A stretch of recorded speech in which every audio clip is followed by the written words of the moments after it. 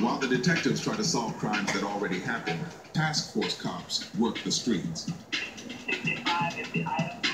The task force is an elite crime prevention unit that cleans up the neighborhoods that need it most. I'm Carlos Malone.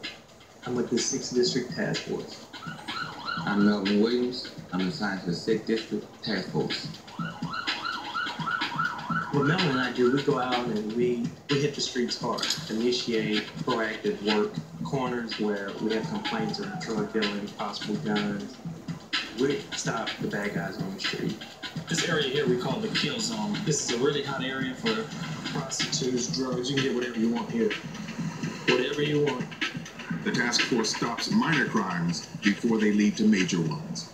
Oklahoma Unit 686, time is 1839 hours. Melvin and Carlos have spotted a man running with a gun. They're in pursuit.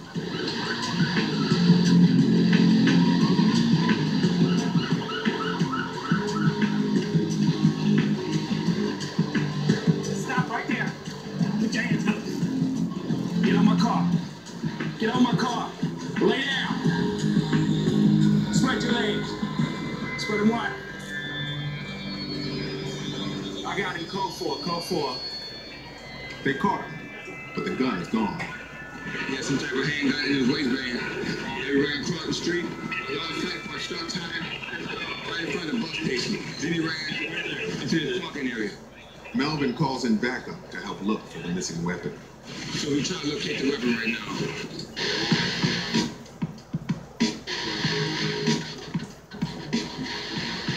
We would rather get the gun than to get that person because we leave a gun out there, some kid, someone may stumble upon this. It's very hazardous. After a long search, they're forced to give up.